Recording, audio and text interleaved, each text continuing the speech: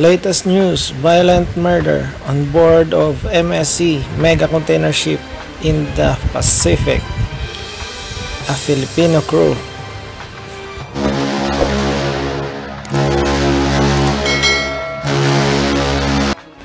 A Filipino crew attacked another crew with knives on board of container ship MSC Ravenna on September 20 while the ship was underway in the Pacific en route to China to Long Beach, Los Angeles, USA.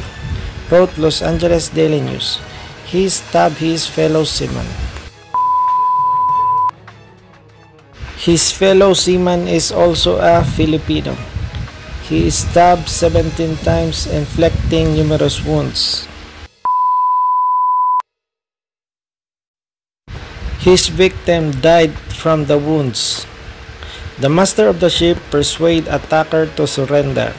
He was locked in the cabin and arrested on the ship arrival at Long Beach, Los Angeles on September 22. On September 28, he was charged with murder, facing life sentence. Again, the murderer facing a life sentence of death penalty.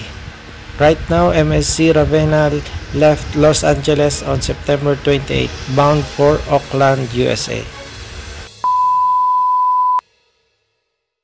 Comment Was it just a tragic accident result feud between two fellow seamen? At least partially cause of growing tension among crew members due to crew change crisis?